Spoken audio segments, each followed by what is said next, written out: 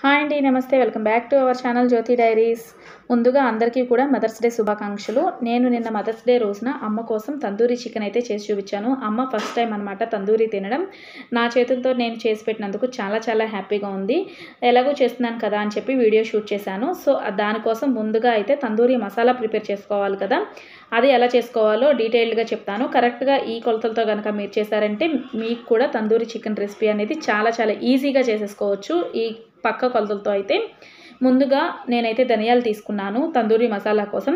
ధనియాల్లో half quantity వచ్చేసి జీలకర్ర తీసుకున్నాను ఒక వన్ టేబుల్ స్పూన్ వరకు కూడా సోంపుని తీసుకున్నాను. తర్వాత బిర్యానీ ఆకుల్ని ఒక రెండింటిని చిన్న చిన్న పీసెస్గా కట్ చేసేసుకొని వాటిని కూడా యాడ్ చేసేసి బాగా దోరగా మనం ఫ్రై చేసుకోవాలి. ఈ ప్రాసెస్ అంతా కూడా లో ఫ్లేమ్లో పెట్టి మాత్రమే మనం వీటిని ఫ్రై చేసుకోవాలి. మంచి ఎరోమా అనేది వస్తుంది కదా ధనియాలు ఫ్రై అయినప్పుడు. అలా వచ్చిన తర్వాత ఇందులో ఒక పది నుంచి పన్నెండు వరకు కూడా ఎండుమిరపకాయలు మీ కారానికి తగ్గట్టుగా తీసుకొని వాటిని కూడా మనం ఫ్రై చేసుకోవాలి. ఎండుమిరపకాయలు అనేది పొట్ట ఉబ్బి ఇలా కొంచెం ఫ్రై అయిన తర్వాత వీటిని సపరేట్ చేసేసుకోవాలి. ఎట్టి పరిస్థితుల్లో మాత్రం మసాలాలు మాడకూడదు. మాడింది అంటే మొత్తం ఫ్లేవర్ అంతా కూడా మారిపోతుంది. అలాగే అవి పక్కకు తీసుకున్న తర్వాత అందులో స్టార్ పువ్వులు ఒక మూడు దాంతోపాటుగా ఇక్కడ నేను నల్ల యాలకులు తీసుకున్నాను. మీ దగ్గర కనుక నల్ల యాలకులు లేకపోతే గ్రీన్వి తీసుకుంటే సిక్స్ టు ఎయిట్ వరకు తీసుకోండి. నల్ల యాలకులు అయితే ఒక త్రీ సరిపోతుంది. దాంతోపాటుగా దాల్చిన చెక్క కొంచెం లవంగాలు ఇంకొంచెం జాపత్రి ఉంటుంది కదా జాపత్రి కూడా ఒక మూడు రేకుల వరకు తీసుకున్నాను. దాంతోపాటుగా మిరియాలు కూడా యాడ్ చేసుకున్నాను ఇక్కడ. వీటన్నిటిని యాడ్ చేసుకొని ఒకసారి బాగా కలుపుకొని లో ఫ్లేమ్లోనే మనం ఫ్రై చేసుకోవాలి. ఇవన్నీ ఫ్రై అయిన తర్వాత వీటిని కూడా నేను వేరే ప్లేట్లోకి ట్రాన్స్ఫర్ చేసేసుకుంటున్నాను. ఈ మసాలా అనేది మనం చికెన్ టిక్కాస్ అలాంటివి చేస్తూ ఉంటాం కదా వాటికి కూడా పర్ఫెక్ట్గా సుట్ అవుతుంది. దాంతో పాటుగానే మనం బిర్యానీ చేస్తూ ఉంటాం కదా దమ్ బిర్యానీస్ వాటిల్లో కూడా ఈ మసాలా అనేది చాలా బాగుంటుంది. ఒక్కసారి మసాలాని చేసి పెట్టుకుంటే చాలా రెసిపీస్లో వీటిని నాన్ వెజ్ రెసిపీస్లో వాడుకోవచ్చు.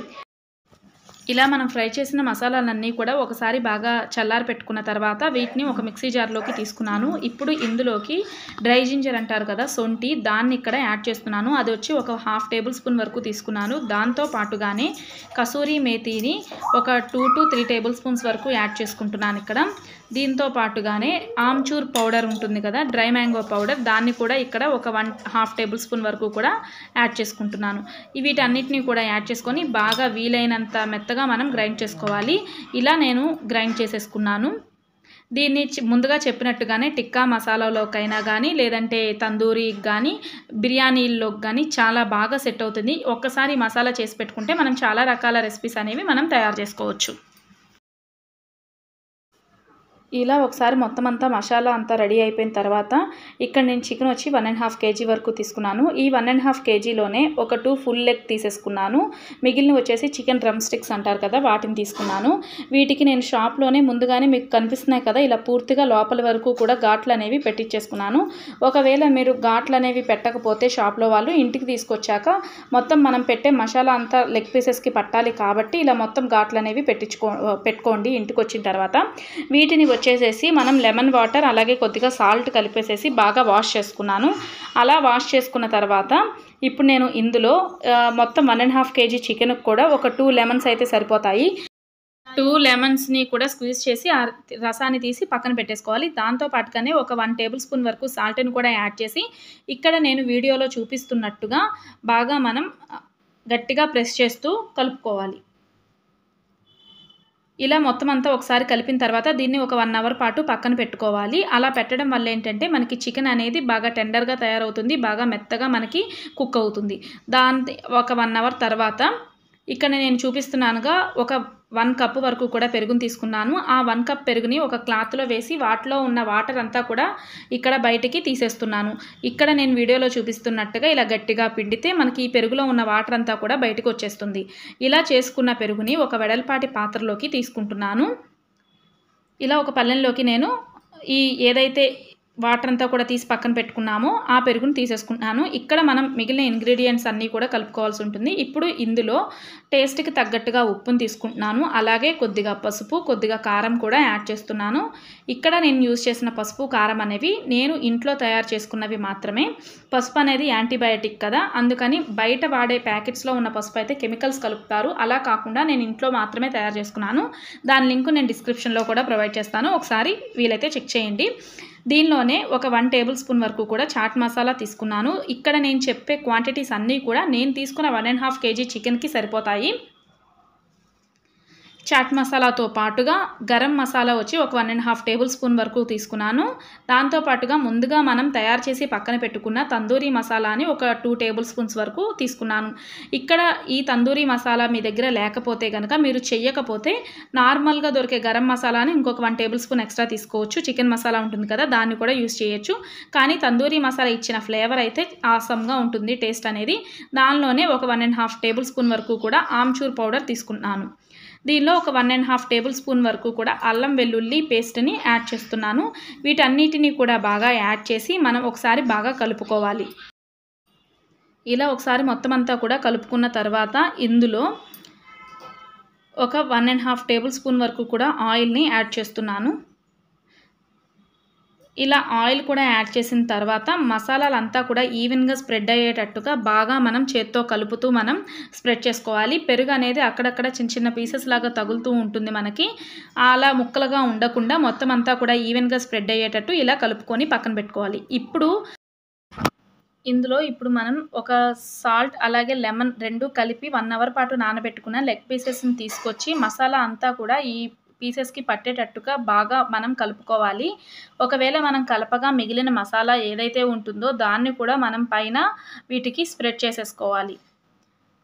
ఇలా ఒక్కొక్క పీసెస్కి ఇక్కడ నేను వీడియోలో చూపిస్తున్నట్టుగా కలిపి పక్కన పెట్టేసేసుకోవాలి మొత్తం అంతా కూడా.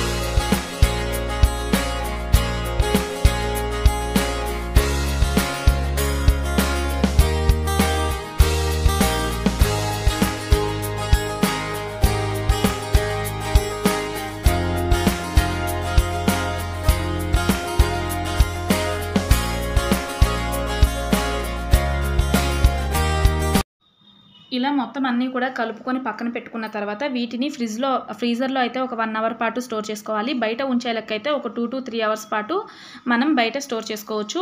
ఈ టూ టు త్రీ అవర్స్ తర్వాత నేనైతే ఫ్రీజర్లో పెట్టలేదు బయటే ఉంచాను. ఆ తర్వాత టూ అవర్స్ తర్వాత ఇక్కడ స్టవ్ ఆన్ చేసుకొని ప్యాన్ పెట్టుకొని దానిలో ఒక్కొక్క పీస్ని ప్యాన్ హీట్ అయిన తర్వాత ఒక్కొక్క పీస్ని యాడ్ చేస్తున్నాను. ఇక్కడ బెటర్ మీరు యూస్ చేసే లెక్క అయితే నాన్ స్టిక్ ప్యాన్స్ యూస్ చేస్తే మీకు అడుగు మాడకుండా ఉంటుంది. అమ్మ దగ్గర నేను కుక్ చేస్తున్నాను కాబట్టి అమ్మ దగ్గర నాన్ స్టిక్ ప్యాన్స్ లేవు. అందుకని ఇలా నార్మల్ ప్యాన్స్లోనే యూస్ చేస్తున్నాను. మీకు నాన్ స్టిక్ ప్యాన్స్ కనుక మీరు యూస్ చేసినట్లయితే పీసెస్ అనేది మొత్తం అంతా కూడా ఈవెన్గా మనకి కుక్ అవుతుంది. అలాగే ఒక ప్యాన్లో కొన్ని పెట్టాను. ఇంకొక ప్యాన్లో ఇప్పుడు మనకి దోశలు వేసే ప్యాన్ ఉంటుంది కదా ఆ ప్యాన్లో మిగిలిన పీసెస్ని కూడా ఇక్కడ నేను యాడ్ చేసేసాను. ఇలా యాడ్ చేసి మనకి చికెన్లో ఉన్న వాటర్ అంతా కూడా బయటకు వచ్చి కుక్ అయ్యేంత వరకు హాఫ్ కుక్ అవుతాయన్నమాట. అలా కుక్ అయ్యేంత వరకు మూత అనేది అస్సలు పెట్టకూడదు. మూత పెడితే మనకి చికెన్లో ఉన్న వాటర్ మొత్తం బయటికి వచ్చేస్తుంది. అది తందూరి లాగా ఉండదు. అందుకని చెప్పి ఇలా ఒక్కొక్క పీసెస్ యాడ్ చేసుకున్న తర్వాత వాటిలో ఉన్న వాటర్ మొత్తం బయటకు వచ్చి ఆ వాటర్ అంతా కూడా ఎవాపరేట్ అయ్యేంత వరకు ఇలా మనం కుక్ చేసుకోవాలి. వన్స్ మనకి వాటర్ అంతా కూడా ఎవాపరేట్ అయిపోయిన తర్వాత ఏం చేయాలో కూడా నేను ఇక్కడ మొత్తం అంతా కూడా నేను డీటెయిల్గా చెప్తాను. మీరు వీడియోని స్కిప్ చేస్తూ చూస్తే మీరు చిన్న చిన్న టిప్స్ అనేవి చాలా చాలా మిస్ అవుతారు. మనం ఏదైతే కలిపి పక్కన పెట్టుకునేటప్పుడు మ్యారినేషన్ అయినప్పుడు కొంచెం మనకి ఏదైతే కొంచెం వాటరిష్గా ఉంటుందో దాన్ని కూడా మనం ఇక్కడ యాడ్ చేసేసుకోవచ్చు. ఇక్కడ చూపిస్తున్నాను కదా మొత్తం వాటర్ అంతా కూడా బయటకు వచ్చి మొత్తం అంతా కూడా ఇలా కుక్ అయిన తర్వాత వీటిలో ఇప్పుడు కొంచెం మీ దగ్గర బటర్ ఉంటే బటర్ యూస్ చేయొచ్చు. బటర్ లేకపోతే కనుక ఆయిల్ యూస్ చేసుకోండి. ఇలా ఆయిల్ యూస్ చేసి ఈ ఆయిల్లోనే ఇవన్నీ కూడా ఫ్రై అయ్యేటట్టుగా మనం ఫ్రై చేసుకోవాలి. ఆయిల్ అనేది మొత్తం పీసెస్ అన్నిటికీ కూడా కలిసేటట్టుగా మనం ఇలా ప్యాన్ అటు ఇటు కదుపుతూ ఉంటే ఆయిల్ అంతా కూడా మనకి అన్ని పీసెస్కి కూడా ఈవెన్గా స్ప్రెడ్ అవుతుంది. ఇప్పుడు ఆయిల్ యూస్ చేసిన తర్వాత మనం మొత్తం పీసెస్ అన్నీ కూడా ఈవెన్గా కుక్ అయినయా లేవనేది ఒక ఫోర్క్తో గుచ్చి చూస్తే మనకు అర్థమైపోతుంది. అలా మొత్తం అంతా కూడా కుక్ అయిన తర్వాత వీటిని వేరే బౌల్లోకి నేను తీసేసుకున్నాను. తందూరి అంటేనే స్మోక్ ఫ్లేవర్ కదా. ఆ స్మోక్ ఫ్లేవర్ రావడం కోసం ఇక్కడ ఒక గిన్నె పెట్టుకొని మనకి బొగ్గు ఉంటుంది కదా బొగ్గుని స్టవ్ మీద కాల్చాను.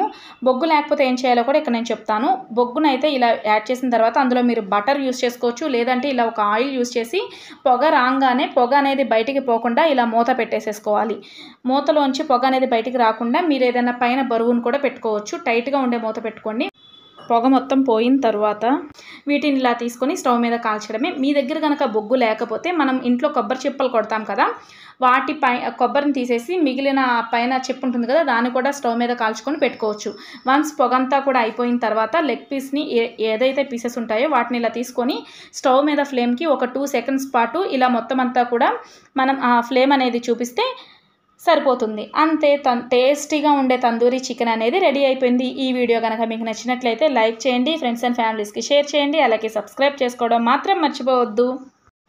సబ్స్క్రైబ్ చేసిన తర్వాత పక్కనున్న బెల్ ఐకాన్లో ఆల్ అనే ఆప్షన్ సెలెక్ట్ చేసుకోండి. దాని ద్వారా నేను వీడియోస్ అప్లోడ్ చేసిన వెంటనే మీకు నోటిఫికేషన్స్ వచ్చేస్తాయి. నా వీడియోస్ని మిస్ అవ్వకుండా ఉంటారు. Thank you so much for watching my video.